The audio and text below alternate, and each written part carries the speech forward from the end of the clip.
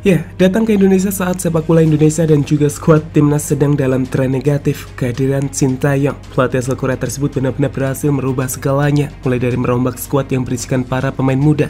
Sintayong berhasil menjawab setiap keraguan yang diarahkan kepadanya hingga akhirnya mantan pelatih Korsel di Piala Dunia 2018 ini membawa timnas ke final AFF tahun ini. Untuk itu, inilah sentuhan magis Sintayong yang membuat dunia memujinya.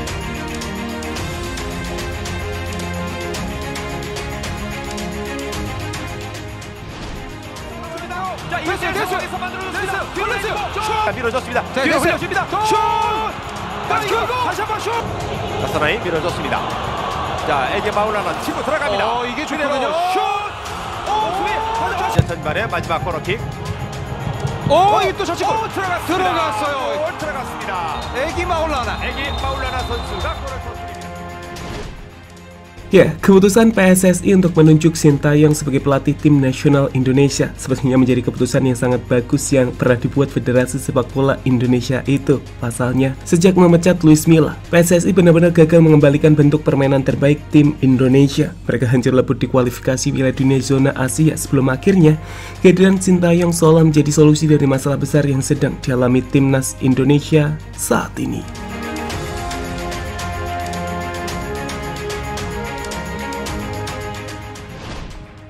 Ya, meski dikabarkan harus merogoh kocek cukup besar untuk gaji mantan pelatih tim nasional Korea Selatan ini, dampak dari kehadiran Sintayong kini benar-benar dirasakan para penikmat sepak bola Indonesia, terlebih di pentas Piala AFF kali ini. Datang dengan skuad yang dipenuhi anak-anak muda, Indonesia yang awalnya banyak diremehkan negara lain berhasil membungkam setiap mulut yang meremehkannya sebelumnya, mulai dari menahan imbang Vietnam, mengalahkan Malaysia dengan skor mencolok hingga terbaru, kemenangan atas Singapura di leg kedua menjadi jalan Indonesia kembali ke partai final AFF tahun ini.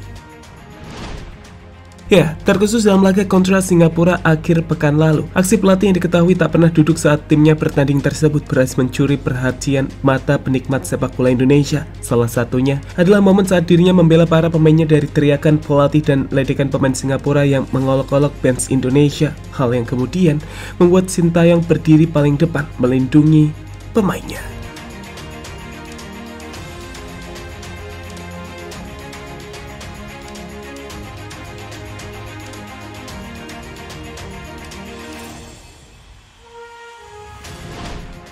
Uh, memang masalah besar, uh, tetapi karena ada selebrasi dari pemain Singapura kepada fans kami, jadi saya sedikit bicara kepada pelatih Singapura bahwa kami harus fair play. Tapi setelah itu baik-baik saja karena pelatih Singapura sudah minta maaf. Ya, dalam laga itu sendiri, meski sempat kesulitan saat mentalitas para pemain muda Indonesia diuji, ketenangan yang diberikan Sintayong pada akhirnya berhasil mengantarkan Indonesia menang dengan skor 4-2. Mereka pun lolos ke partai final, di mana hal itu membuat berbagai media termasuk dari Korea Hanbuk Libu memuji sang pelatih, di mana mereka menilai jika Sintayong bisa mengantarkan Indonesia menjadi juara AFF untuk kali pertama. Sintayong Magic Menulis sejarah baru dalam sepak bola Indonesia, mantan pelatih tim nasional Sintayong memimpin Indonesia ke final AFF Suzuki Cup dengan mengalahkan kekuatan sepak bola Asia Tenggara, Singapura. AFF Suzuki Cup merupakan piala dunia sepak bola di Asia Tenggara. Tulis Hankook menyoroti performa timnas Indonesia dan pelatihnya Sintayong. Di final sendiri, Indonesia sudah dipastikan akan menghadapi Thailand usai tim Gajah Putih tersebut mengalahkan Vietnam dengan agregat 2-0. Ini jelas akan menjadi momen yang krusial, terlebih Indonesia selalu kesulitan di partai final di mana tercatat dari lima kali partai final yang dilakukan Indonesia di sepanjang AFF. Mereka tak sekalipun menjadi juara dan harus puas menjadi runner-up mulai dari tahun 2000, 2002, 2004, 2010, dan 2016. Tapi saat ini, dengan Sintayong Indonesia diyakini memiliki kesempatan untuk meraih gelar tersebut terlebih pelatih asal Korea ini percaya jika Indonesia akan tampil dengan jauh lebih baik di final.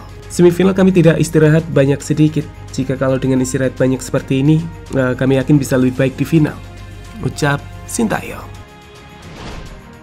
Ya, terlepas dari sejarah kelam Indonesia di partai final, kehadiran Sintayong memberikan nilai lebih untuk timnas saat ini, di mana kita akan melihat partai final yang bakal dimainkan dua leg tersebut.